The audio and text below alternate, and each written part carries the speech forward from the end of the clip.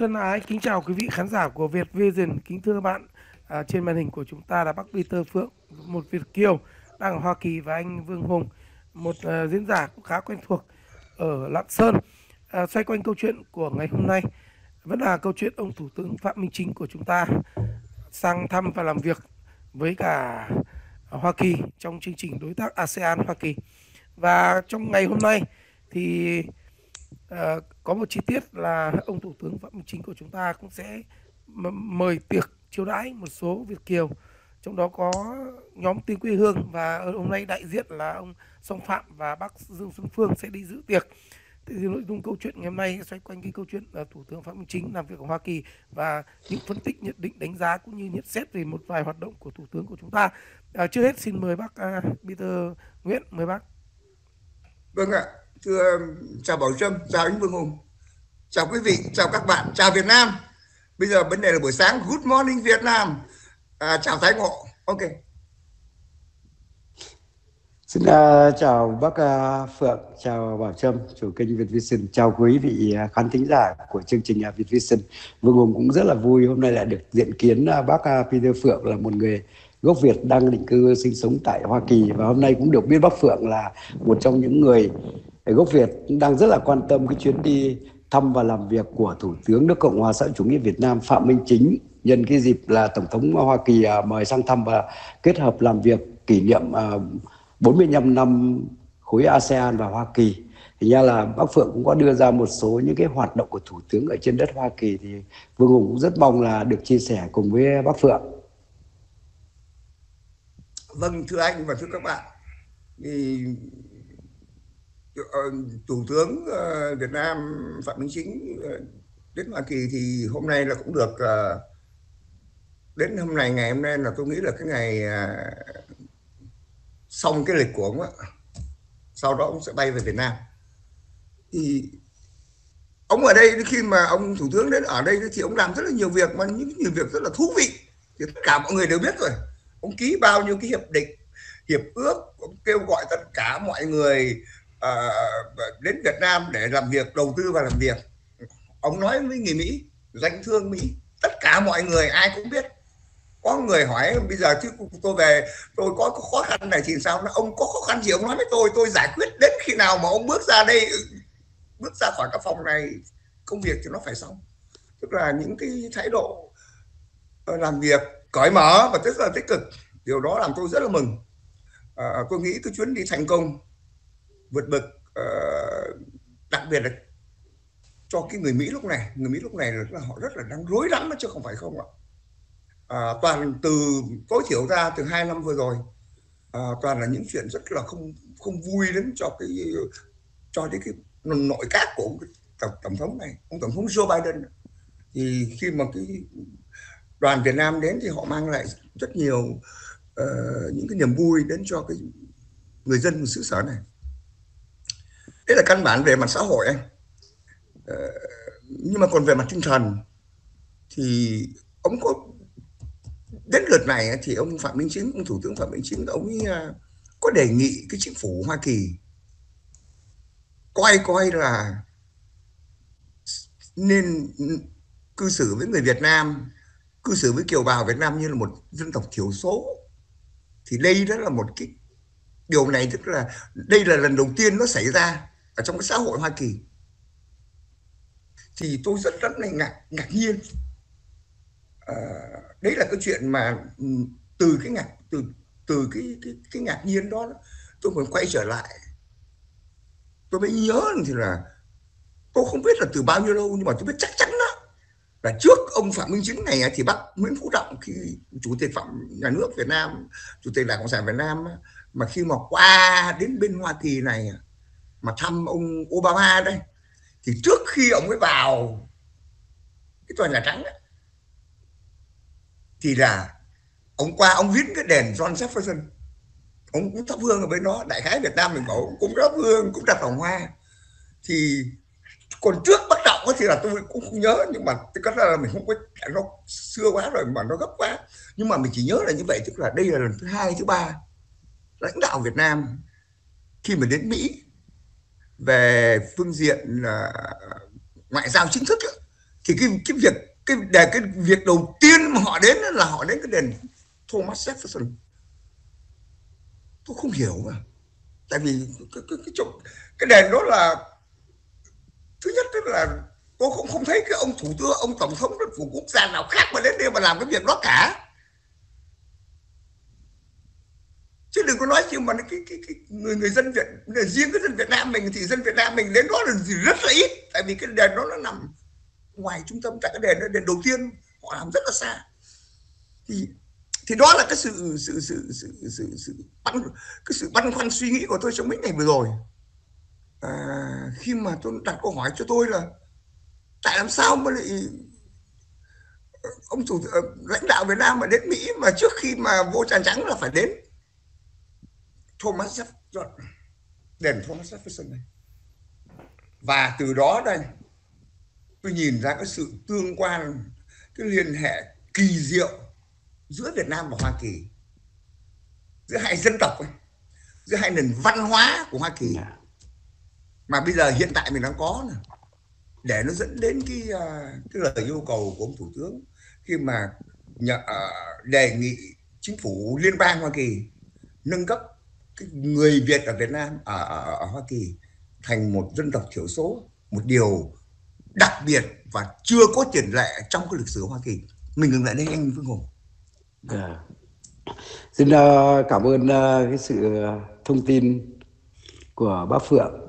Bởi vì bác Phượng uh, nhân cái chuyến đi của Thủ tướng nước Cộng hòa xã chủ nghĩa Việt Nam Phạm Minh Chính đến Hoa Kỳ ấy thì thực ra nó rất là nhiều hoạt động từ cái hoạt động ngoại giao rồi hoạt động uh, thăm hỏi. Nhưng mà có một cái ý này mà Vương Hùng thấy rằng không biết đây nó là một cái điều đặc biệt hay không, nhưng mà Vương Hùng thì cũng có quan tâm theo dõi về cái chuyến đi của Thủ tướng cũng như các cái hoạt động của Thủ tướng và các cái thông tin của các cái chính phủ, các quốc gia khác cũng như là cộng đồng người bà con gốc Việt của mình ở Hoa Kỳ. Nhưng mà chưa thấy có một ai có cái ý kiến, thấy một cái điều rằng là như bác Phượng nói là rất nhiều nguyên thủ của Đảng, nhà nước Việt Nam khi nhận lời mời của Tổng thống Hoa Kỳ, của chính phủ Hoa Kỳ khi mà sang Hoa Kỳ ấy, như là tổng nguyên à, như là tổng bí thư Nguyễn Phú Trọng này, chủ tịch nước Nguyễn Xuân Phúc hay là ông chủ tịch uh, nguyên uh, nguyên chủ tịch nước Nguyễn Minh Chiết khi mà sang Hoa Kỳ vừa thăm hỏi vừa làm việc thì lại đầu tiên trước khi bước vào nhà trắng thì lại đến một cái ngôi đền mà cái ngôi đền đấy cũng không gần so với cái địa điểm làm việc tiếp đón của Nhà Trắng.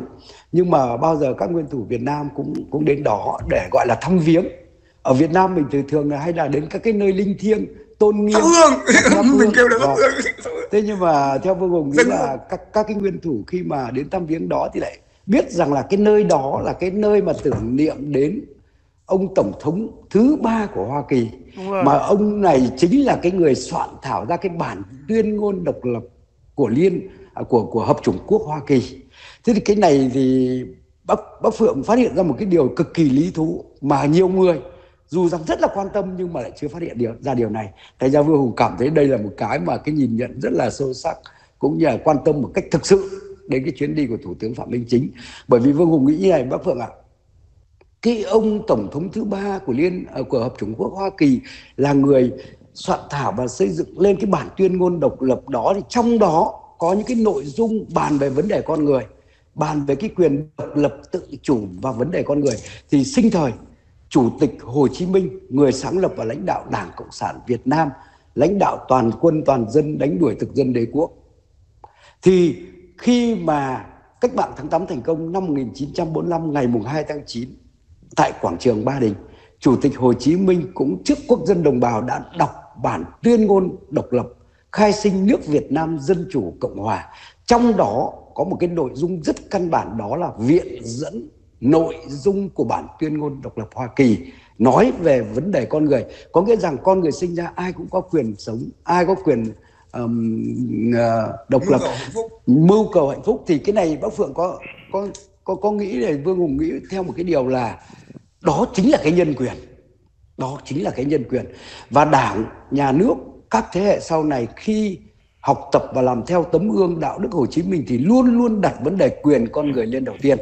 Tức là tôn trọng quyền tự quyết của các dân tộc cũng như là quyền sinh quyền sống. Thế thì ở đây bác bác Phượng đã nhìn thấy rồi. Thành ra Vương Hùng nghĩ rằng là cũng là một cái hoạt động rất là thực tiễn và nó mang hoàn toàn tính đạo lý, tính nhân văn uống nước nhớ nguồn của dân tộc Việt. Cho nên các lãnh đạo cao cấp của Đảng và Nhà nước Việt Nam nhân một cái sự kiện nào đó sang Hoa Kỳ thì đều dành cái thời gian đến đó đầu tiên. Dành thời gian đó đón đầu tiên. Và nhân cái ờ, câu chuyện như là bác Phượng vừa mới nói ra thì Vương Hùng cũng muốn nói thêm. Đó, những thế lực thù địch hoặc những cá nhân nào còn thù hận đối với Đảng, nhà nước Việt Nam mà cứ nói Việt Nam không có nhân quyền thì phải nhìn vào cái sự việc như bác Phượng vừa nói ra ấy chính cái nhân quyền dành cho người dân không chỉ là dân Việt Nam mà cả nhân loại này thì lãnh đạo Đảng nhà nước Việt Nam luôn luôn quan tâm và đặt lên hàng đầu. Thành ra tất cả mọi cái hoạt động vì dân vì nước cũng chính xuất phát điểm từ cái tư tưởng đó, từ cái quan điểm lối sống đó. Bên một cái vấn đề nữa Vương Hùng cũng xin được chia sẻ với bác Phượng này trong cái cung cái cuộc ừ, vừa là chuyến thăm Hoa Kỳ và làm việc với cái nguyên thủ khối ASEAN. Hoa Kỳ nhân cái kỷ niệm 45 năm ngày quan hệ. Thì ờ, Thủ tướng Phạm Minh Chính có rất nhiều những cái hoạt động liên quan đến cái công tác đối ngoại liên quan đến công tác thăm hỏi. Nhưng ở vừa với tổng thống Hoa Kỳ nhưng đồng thời với các cái nguyên thủ của khối ASEAN nữa. Bởi vì chúng ta biết rằng Hoa Kỳ và khối ASEAN có cái mối quan hệ 45 năm nay rất là mật thiết và trên tất cả các lĩnh vực kinh tế, chính trị, văn hóa xã hội. Và đồng thời Hoa Kỳ cũng là một đối tác chiến lược lâu dài và đem lại rất nhiều những cái uh, lợi ích cho cái khối ASEAN trong cái vấn đề phát triển chung thì cái này thì ờ, thủ tướng phạm minh chính sang đó thì để với cái nội dung này là chính nhưng tuy nhiên bên cạnh đó có một cái mà vương hùng nhìn thấy ngay.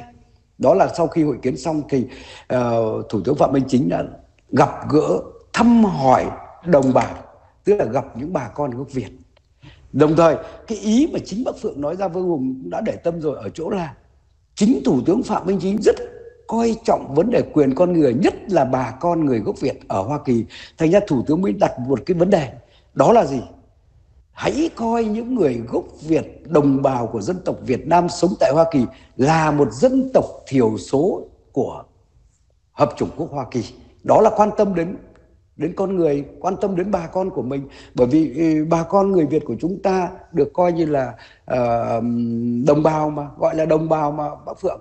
Đấy, thế thì cái này vương hùng cũng muốn chia sẻ thêm thế còn một cái ý nữa thì sau tí nữa thì bác phượng góp ý cho vương hùng bởi vì ừ, ngoài những cái hoạt động đối ngoại thì trong đó có bàn một cái vấn đề là uh, căn cứ vào cái tình hình thực tế quốc tế hiện nay cũng như là tình hình cái quan hệ song phương và đa phương giữa Việt Nam, Hoa Kỳ và khối ASEAN thì thủ tướng cũng có đặt vấn đề liên quan đến cái hoạt động kinh tế phát triển kinh tế nói chung. Bởi vì trước đây ấy, thì uh, ngay từ trước năm 1995 khi mà chưa bình thường hóa quan hệ thì Việt Nam vẫn là một cái à, đất nước mà thực hiện cái cơ chế phát triển kinh tế là uh, kế hoạch tập trung vào quan liêu bao cấp.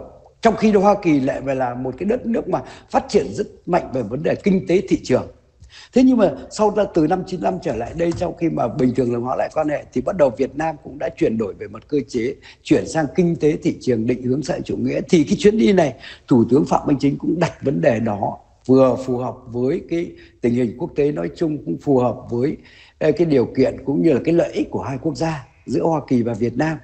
Thì ví dụ như là trước năm chín à, từ năm 95 nhé bác Phượng nhé khi mà cái mối quan quan hệ ờ, song phương và cái hoạt động uh, ngoại thương ấy thì một năm nó cũng chỉ có độ khoảng 450 triệu đô thôi. Nhưng mà đến năm 2022 này nó gấp đến hàng mấy trăm lần. Tức là đến 2022 này đã tính lên là cái uh, quan hệ ngoại thương đó nó lên đến 111 à 311 tỷ đô. Nó tức là cái nâng cái tầm lên và cái lợi ích của hai quốc gia này được chính phủ hai nước quan tâm rất là là là là coi trọng là coi trọng. Thế rồi là ở cái vấn đề nữa là Việt Nam nó có một cái điều kiện vị trí địa lý tự nhiên cực kỳ quan trọng trong cái trục Đông Nam Á và châu Á. Và hiện nay thì Mỹ, Hoa Kỳ cũng như là uh, châu Âu ấy thì trước đây có cái quan hệ ờ, ngoại thương rất là lớn mạnh nhưng trong mấy chục năm trở lại đây thì bắt đầu nó giảm dần giảm dần. Và cái xu hướng là Hoa Kỳ cũng muốn phát triển kinh tế sang cái trục bên này tức là Thái Bình Dương và châu, châu, châu Đông Nam Á. Thì ở đây nó như là ví dụ như Nhật Bản rồi là Trung Quốc đã thực hiện rồi.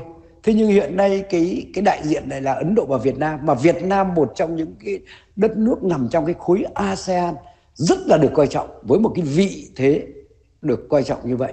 Rồi là cái điều kiện vị trí ờ, tự nhiên là một thứ nhất là nằm cạnh một cái anh um, Trung Quốc là một cái quốc gia có cái nền kinh tế phát triển đứng thứ hai thế giới hiện nay thì sau Hoa Kỳ thôi.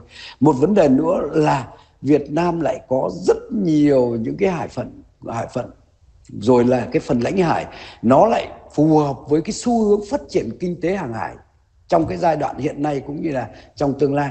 Thành ra vấn đề thấy rằng à, Hoa Kỳ cũng thấy rằng là cái quan hệ hợp tác song phương đối với Việt Nam nó đem lại lợi ích cho cả Hoa Kỳ và Việt Nam. Thành ra cái mối quan hệ đó ngày càng được tăng cường và thắt chặt và nâng tầm chiến lược, nâng tầm chiến lược lên.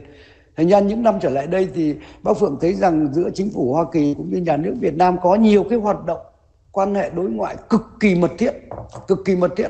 Nó vừa là hợp tác về vấn đề kinh tế này, bên cạnh đó nó có cả vấn đề an ninh và quốc phòng Bác Phượng ạ, ở cái chỗ này Vương Hùng tại sao lại nhấn mạnh an ninh ở quốc phòng ở chỗ là rất nhiều những cái thế lực thù địch cứ cho rằng là giữa chính phủ Hoa Kỳ cũng như nhà nước Việt Nam còn có những cái mối xung khắc hay là có những cái vấn đề nọ vấn đề kia. Nhưng chúng ta nhìn qua những cái hoạt động này chúng ta thấy rằng là cái sự coi trọng của chính phủ Hoa Kỳ đối với nhà nước Việt Nam trong cái lĩnh vực an ninh và quốc phòng rất là tốt. Vừa rồi tặng rồi là uh, cung cấp cho một số những cái phương tiện để nhằm thực hiện cái hoạt động bảo vệ an ninh tổ quốc đó. Rồi là cái, cái vấn đề là học tập trao đổi về vấn đề an ninh quốc phòng rồi là tập trung đầu tư phát triển kinh tế cộng thêm cả cái gọi là giao lưu văn hóa. Có rất nhiều những cái hoạt động văn hóa. À, Bắc Phượng còn nhớ một cái chuyến ờ, tàu sân bay của Mỹ khi mà cập cảng Tiên Sa ở Đà Nẵng ấy. Xong rồi tất cả thủy thủ ở trên ờ, tàu khi mà xuống Đà Nẵng đã tổ chức tổ chức coi như giao lưu văn hóa đấy hát những bài ca ca ngợi đất nước, Hoa Kỳ cũng như là đất nước Việt Nam. Thì ra Vương Hùng cho rằng là cái chuyến đi của Thủ tướng Phạm Minh Chính đem lại rất nhiều những cái hiệu quả tích cực cho cả Hoa Kỳ cũng như là Việt Nam. Và đồng thời, Việt Nam hiện nay nằm ở trong khối ASEAN cũng là một cái quốc gia được coi trọng và có một cái vị thế gần như là hàng đầu.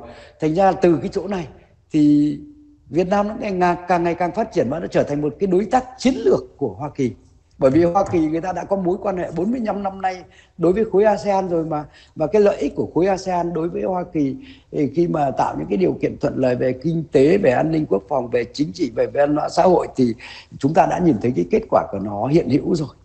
Đấy.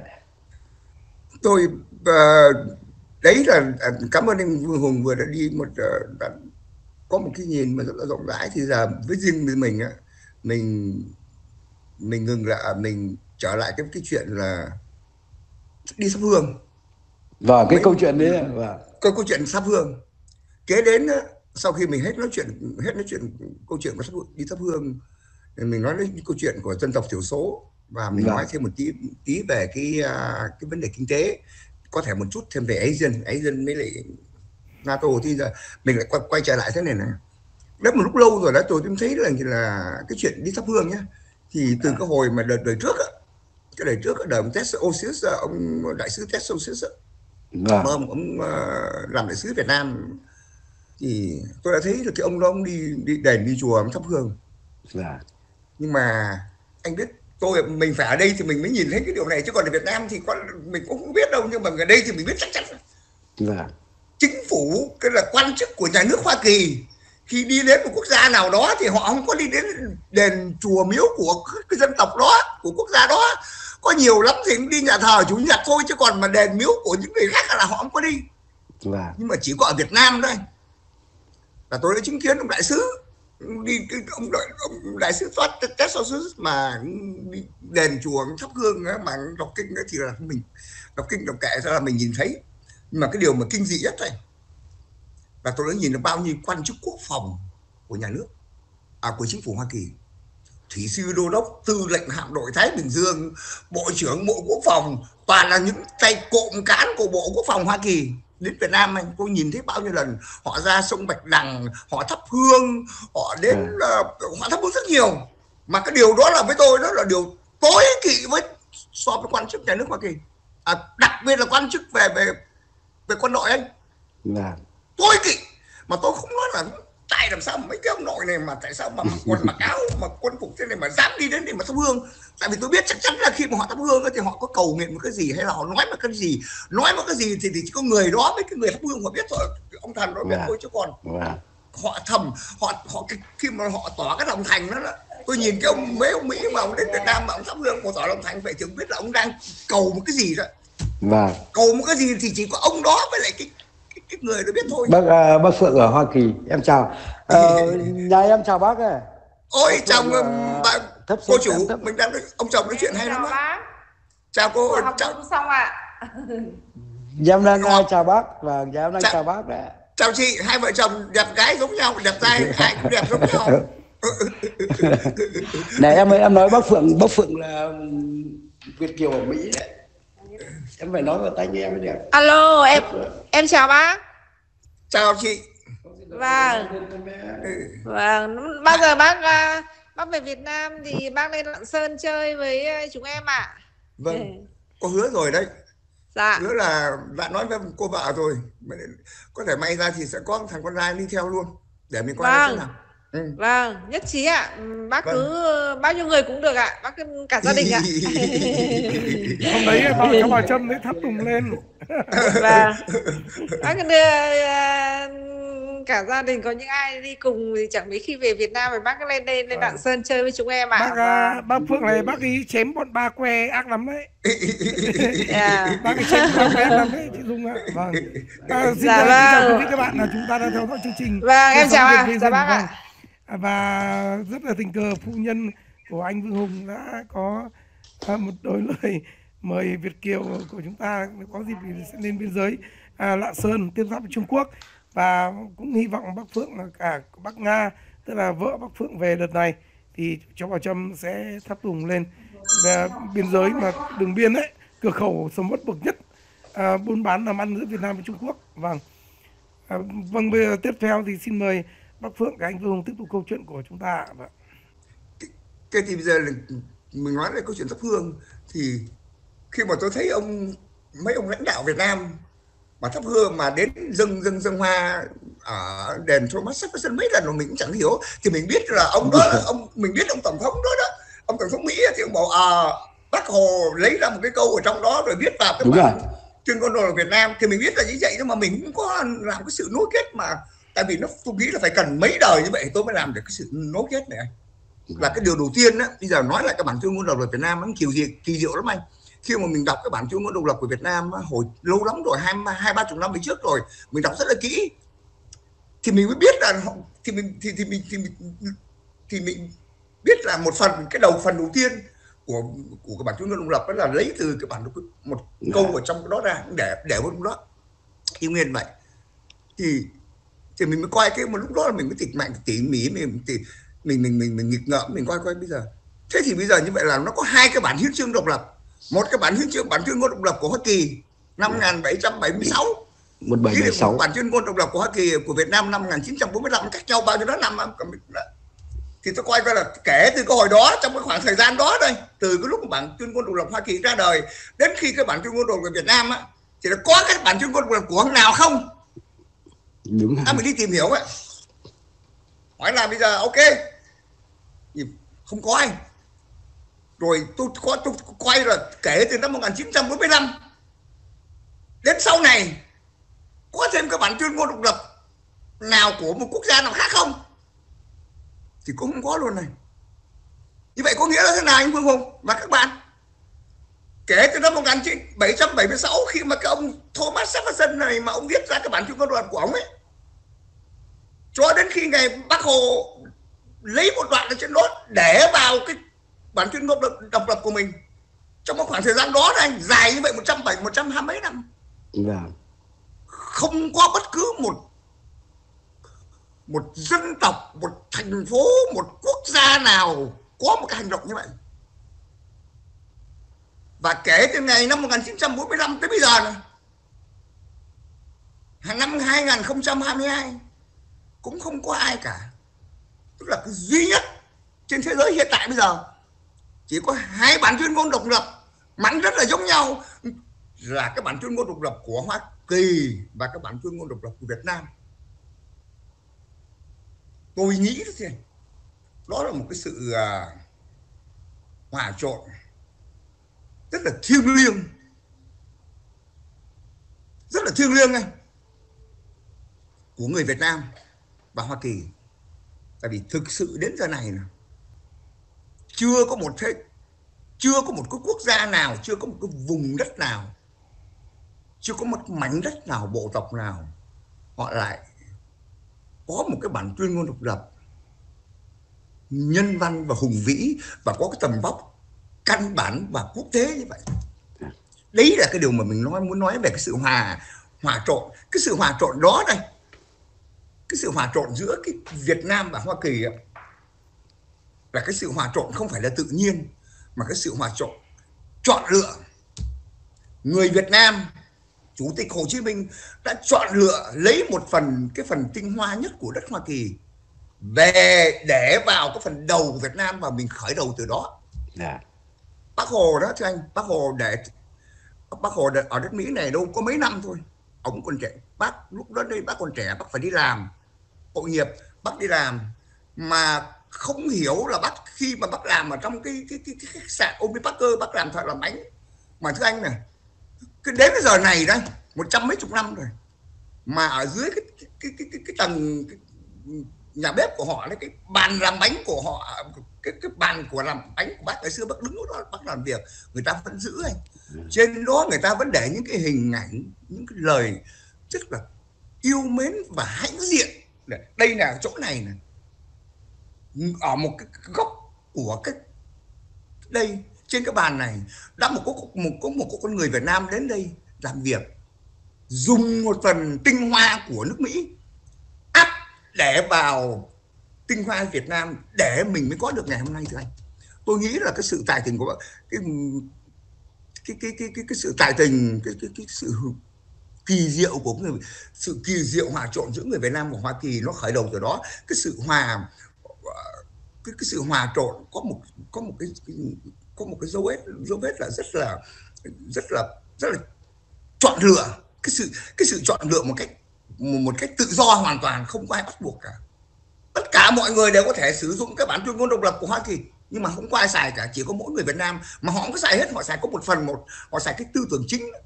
Tất cả mọi người sinh, các con người sinh ra là bình đẳng. Ông Thomas Jefferson này, ông là ngày xưa, ông là chủ nô lệ. Ông nói, ông ấy, ông, một thân thể, một một con người của ông, một cái gia đình một ông ông làm chủ, sáu trăm mấy chục người nô lệ da đen. Thì mà khi ông nói cái khái niệm về bình đẳng á tức là ông cũng phải nói khái niệm bình đẳng cho người nô lệ của ông mà ông nói là khái niệm cho mấy ông chủ đồn điền da trắng như ông. Những người học thức như ông. Chứ không phải là cho mấy người khác. Tại vì sau đó đây bác hồ đi thời gian rất là ngắn bác hồ nhìn ra những nhìn ra những điều rất là căn bản và những và cái cái sự kỳ diệu của cái bản tuyên ngôn độc lập khi bác hồ đến đây mà dùng là thế này ở trong một cuốn sách mà ghi khi khi bác hồ qua bên New York tại bác hồ làm việc ở Boston New York mà. Bác hồ ghi lại những cảm tưởng của bác khi bác hồ đến coi khi bác đến coi cái, uh, cái, cái, cái, cái nữ thần tự do. Bác nói là cái ánh sáng của nữ thần tự do chiếu xuống nhưng mà ngay dưới bức ngay dưới ờ, bậc bậc thềm của nữ thần tự do người da đen vẫn còn là người nô lệ. Bác viết ở trong đó từ năm 1910 mấy hồi bác học đến ngày tôi qua Mỹ học năm 1978 79 tôi học cái tôi học cái cái cái cái, cái, cái lớp uh, văn minh Hoa Kỳ căn bản. Nhỏ lớn chưa bao giờ không biết văn Hoa Kỳ để học học cái cua đó. American Civilization ông giáo sư ông nói với tôi ở Alabama người nô lệ vẫn còn là người nô lệ. Bác hồ đến đây chủ tịch hồ chí minh đến đây làm việc mấy năm nhìn thấy những điều tuyệt đỉnh của hoa kỳ nhưng mà cũng nhìn thấy những điều à, điều mà lúc mà bác lúc mà bác nhìn ra cái điều đó là người mỹ cho chưa, chưa có hiểu. Những người như tôi là không biết gì cả. Tại vì cái nói nhân quyền cái nhân quyền của cái ông mỹ ngày xưa mà ông bịa ra ông nói ra đó là chỉ có để cho mấy người da trắng chủ nô lệ chủ đô điền như mấy ông thôi. Nhưng mà khi bác hồ dùng cái tư tưởng đó mà mang qua việt nam để để vào cái bản hiến chương đó là tất cả mọi người tất cả giống người tất cả con người màu da chứ không phải là chỉ mấy ông da trắng thôi yeah. Dạ. cái sự cái sự văn hóa cao đẳng của cái bản tuyên ngôn độc lập của Việt Nam là như vậy đó tại vì tôi nghĩ là tại vì mình đến sau mà mình dùng sau mà thành thử ra mình có được chất lọc ra cái gì tốt mình xài cái gì không tốt mình xài giờ quay lại cái chuyện thắp hương đến khi mà chỉ có khi mà tôi tôi nối lại những câu chuyện quan chức cao cấp của nhà nước Việt Hoa Kỳ đến Việt Nam thắp hương. Đền này đền kia bạch đằng giang chỗ này chỗ kia đền hùng đền trần. Rồi tôi nối lại nối kết lại cái chuyện của mấy ông lãnh đạo Việt Nam. Cứ mỗi lần đến Mỹ trước khi vào Nhà Trắng phải đến John Jefferson, Thomas Jefferson này. Tôi nghĩ đó là tôi nghĩ tôi nối kết lại một sự hòa huyết về tinh thần rất là thiêng liêng và tôi nghĩ ờ, nhờ cái sự lãnh đạo tài tình thiệt á, là của đảng nhận đảng cộng sản việt nam và nhà nước việt nam mình mới có được cái ngày hôm nay. Một cái uh, và khởi đầu từ bác hồ. Kinh khủng. Tức là mình bây giờ mình cái chuyện đó là mấy chục năm nữa bây giờ mình ngồi tôi không có biết bác hồ thế nào nhưng mà tôi cứ nghĩ lại những cái hành những cái, cái, cái, cái, cái, cái điều mà bác xây dựng được đừng nói chi năm 1945 mấy chục năm rồi bản tuyên ngôn độc lập mấy trăm năm này không có nào xài tại sao mà bác bác, bác ở đó mấy năm bác đâu có đi chơi đâu bác phải đi làm mà. Một bác đi làm xong rồi bác đi, bác đi ra ngoài bác học khỏi cái này kia mà tại sao mà bác dùng bác nhìn thấy là Hoa Kỳ là một quốc gia mà nó cái quyền có những cái tinh túy tinh tinh hoa của thế giới. Nhưng mà ở đó đây bác cũng nhìn thấy đó là những nơi cái tệ nạn của thế giới nó có thể xảy ra đấy mình ngừng ở đây. Mình nói về mình ngừng lại cái, cái sự hòa huyết cái sự hòa huyết của linh hồn về về vấn đề linh hồn của những uh, của, của của Việt Nam và Hoa Kỳ. Thế thì rồi nó xảy ra các cuộc chiến tranh xảy ra năm 1955 đến năm 1975 anh. Cái thằng cha Mỹ lúc đó là nó như, như, như là một đứa con nít nó mới lên nó khỏe lắm anh. Muốn cái gì là nó đòi cái đó nó tham ăn tham uống mà tới bây giờ nó cũng vậy sao nó trẻ mà nó nó trẻ nó chớ mà nó còn khỏe nữa. Nó cũng như là cái thằng thằng ông con trai 14 15 tuổi 15 16 tuổi đó. Cỡ đó bằng con trai Việt Nam 15 16 tuổi, mà nó to lớn nó khỏe mạnh. Gặp đứa con gái nào cũng theo, đứa gặp cái gì cũng muốn. Muốn không, muốn, khi mà nó muốn rồi nó tìm đủ mọi cách để nó có. Mặc dù nó, thì nó có có đó. Nó xảy ra cái cuộc chiến tranh đây. Việt Nam 20 năm coi như là từ mình nói tính giảm lên hai từ năm hai năm 1955 đến năm 1975 25 năm. À 20 năm. Gây ra biết bao nhiêu đau thương cho cả hai sắc dân này. Washington DC đây cái chỗ đó, đó là cái tuần trước tháng trước giờ này tôi đang ở đó. Cái chỗ đó nó có một cái nó có cái, cái đền tưởng niệm. Tôi đến đó tôi quay đi quay đi quay lại đi ra đi vào cái cái cái cái cái, cái, đài Ờ, bức tường đá đen ở ở ở, ở Washington DC lần đầu tiên trong cái lịch sử Hoa Kỳ lịch sử ngắn ngủi và vàng son Hoa Kỳ người người Hoa Kỳ thất thất trận này và đến bây giờ đó cái cái cái cái, cái bức tường đá đen mà nó đâm vào cái lòng đất này nó cũng như là cái một cái cọc nó đóng vô đó mỗi lần người Mỹ có làm cái điều gì đấy thì, thì cái vết thương nó nó cứ nằm yên thế này thì không sao. Mỗi lần người Mỹ mà thay đổi một chút nó lại Việt Nam nó lại nhói lên rồi người ta mới hiểu được Việt Nam mình thế nào. Tôi nghĩ đó là nhờ những cái tinh thần đó đó nhờ những cái cái điều nó xảy ra giữa hai quốc gia. Một là Việt Nam hai là Hoa Kỳ những cái đau thương xảy ra thành thử ra cái sự hòa huyết của chúng mình à, nó có ý nghĩa và nó có ý nghĩa mặn mà hơn. Tôi tôi biết tôi có cảm tưởng là từ giờ đến giờ từ giờ trở về sau người Mỹ với người Việt Nam đã hòa thuận với đã đã cư xử với nhau như là hai anh em vậy nó có sự hòa huyết. Nó có chung. Chung cái gì anh? Chúng mình đã hòa với nhau về cái linh hồn. Tổng chủ tịch Việt Nam đến đến đây. Không đi không đi chỗ khác. Không thăm cái gì cả. Không có thăm, không có đi mua đồ mà. Đi đến thăm đặt vòng hoa ở đài ông Thomas Jefferson. Dân của chúng tôi mỗi ngày nhớ, lớn sống được một giờ có bao nhiêu đây quyền quyền lợi như thế này những cái quyền căn bản. Nhờ mấy dòng chữ ông viết ra đầu tiên trong cái bản tuyên ngôn độc lập Hoa Kỳ. Và khi mà mình dùng mình nhờ nó cái thành ra Việt Nam nó được đó, đó. Cũng nước nhớ nguồn này.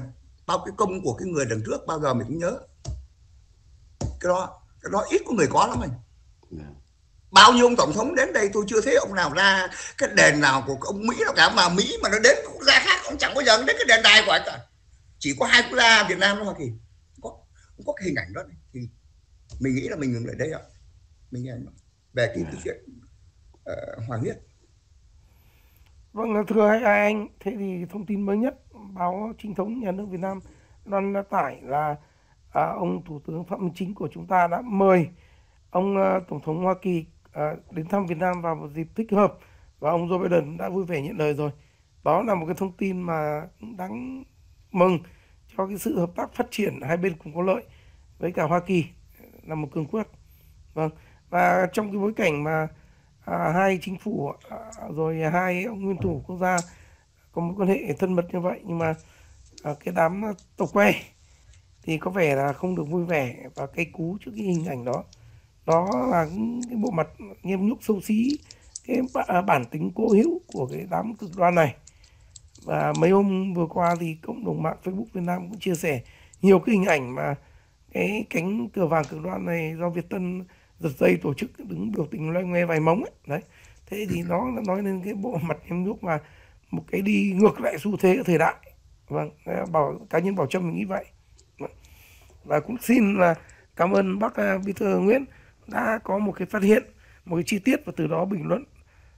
À, để cho thấy rõ là người Việt Nam và người nhân dân tiến bộ Mỹ cũng có những cái điểm tương đồng tôn trọng cái nhân quyền rồi tôn trọng cái quyền độc lập tự quyết của mỗi quốc gia. Và đặc biệt cái lời đó lại viết ra là bởi một ông tổng thống vốn là một địa chủ có trong tay rất nhiều nô lệ. Đó là những cái giá trị chung của loài người mà Việt Nam mình luôn uh, tiếp thu và lan tỏa những giá trị nhân văn chung của loài người. Vâng và đó là sự chất lọc tinh hoa của nhân loại, bạn. Nên là cái bản tuyên ngôn của cụ Hồ nhà mình thì bác là cũng mượn cái ý đó để nói đến khát vọng, tự do, độc lập và tôn trọng nhân quyền của người Việt Nam. Và điều đó cũng đã được các thế hệ lãnh đạo kế tiếp của bác Hồ phát huy. Nên là cũng rất là tôn trọng cái tinh thần đó. Nên là mỗi một lần có dịp sang Hoa Kỳ là những lãnh đạo kế tiếp của bác Hồ cũng đã đến thăm cái khu tưởng niệm Thomas Jackson là vị tổng thống thứ ba của Hoa Kỳ. Vâng một lần nữa xin chân thành cảm ơn hai khách mời của chúng ta anh Vương Hùng và bác Bí thư Nguyễn đã tham gia chương trình này. Xin chân thành cảm ơn. Vâng. Cảm ơn anh. Chào quý vị, chào các bạn. Chào Vương Hùng. Anh em mình gặp lại nhau.